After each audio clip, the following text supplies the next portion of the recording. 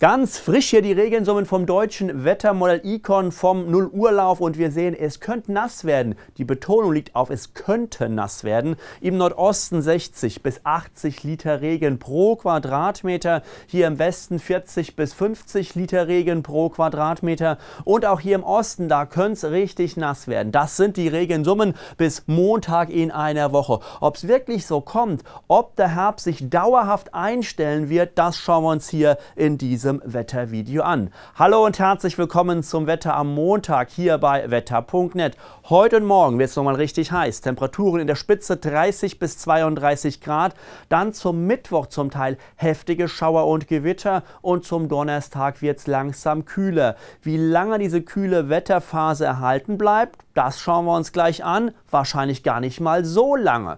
Wir blicken auf die Regensummen im Vergleich zum amerikanischen Wettermodell mal hin und da sehen wir ebenfalls die Regensummen bis zum 12. September, bis nächste Woche Montag, aber deutlich weniger Regen hier im Nordosten und im Osten als eben noch beim deutschen Wettermodell gezeigt worden ist. Hier auch im Westen so 40 bis teilweise 50 Liter Regen pro Quadratmeter. Es gibt also weiterhin sehr große Unsicherheiten.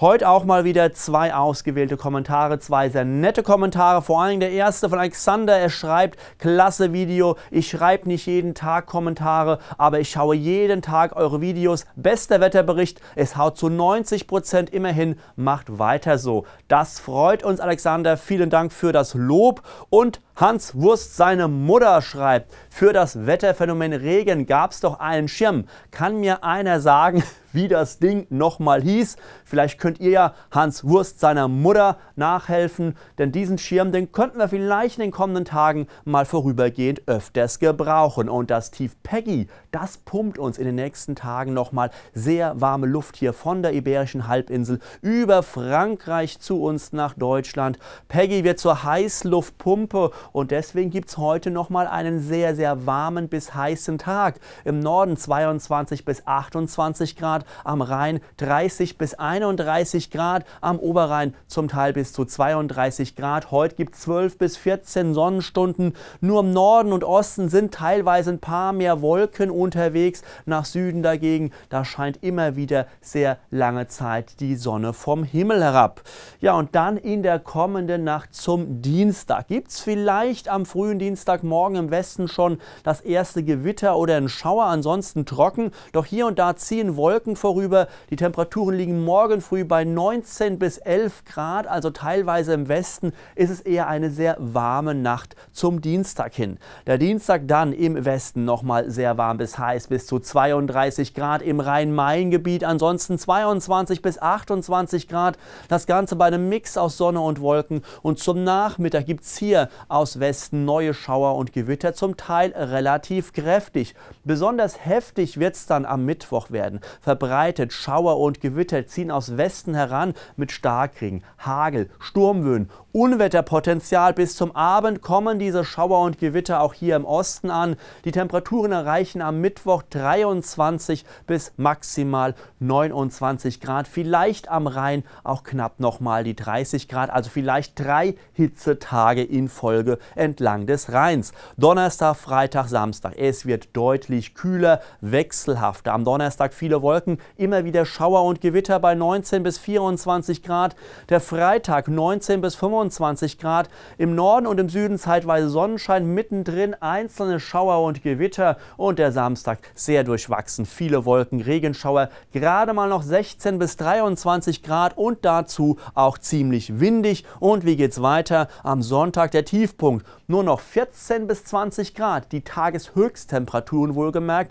Viele Wolken, zeitweise Regenschauer und auch der Montag noch wechselhaft bei 15 bis 21 Grad. Ab Dienstag könnte es dann aber wieder freundlicher werden und sonniger und auch deutlich wärmer mit Temperaturen um 20 bis 25 Grad. Ist das vielleicht der Altweibersommer? Gleich mehr dazu in der Ensemble-Vorhersage. Wir gucken noch mal genau hin auf die Wetterentwicklung. Morgen früh, wie gesagt, da sind im Westen erste Schauer und Gewitter möglich, zumindest in der ganz frischen Prognose vom deutschen Wettermodell. Und wir schauen auf den Dienstagnachmittag bzw. Nacht von Dienstag auf Mittwoch. Da gibt es neue Schauer und Gewitter hier im äußersten Westen. Da kommt ein Gewittertief herangezogen und da kann es zum Teil in der Nacht von Dienstag auf Mittwoch im Westen, in Nordrhein-Westfalen, in Rheinland-Pfalz, im Saarland, in Hessen, in Baden-Württemberg ordentlich scheppern. Da kann einiges vom Himmel runterkommen und der Mittwoch selbst bleibt insgesamt wechselhaft. Auch Schauer und Gewitter hier im Norden von Deutschland Deutschland zum Teil mit Starkregen durchsetzt. Ja, und dann bei Donnerstagvormittag, da kommt eine neue Wetterfront herangezogen. Ein neues Gewitter- und Schauertief erreicht den Westen Richtung Nordrhein-Westfalen, Hessen, Rheinland-Pfalz, das Saarland, Baden-Württemberg, zum Teil mit kräftigen Regengüssen. Und das Ganze zieht dann am Donnerstag einmal über Deutschland hinweg. Die wechselhafte Wetterlage wird dann so voll eingeleitet oder besser gesagt eingeläutet. Und die Höchstwerte am Sonntag, naja, das sind teilweise die Nachtwerte gewesen in vergangenen Tagen stellenweise nur 13, 14 Grad am Sonntag bei uns in Landesteilen, in einigen Landesteilen.